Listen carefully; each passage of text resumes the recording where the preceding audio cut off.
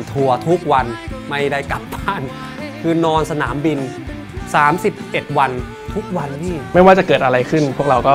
ยังจะทำตามความฝันของเราต่อไป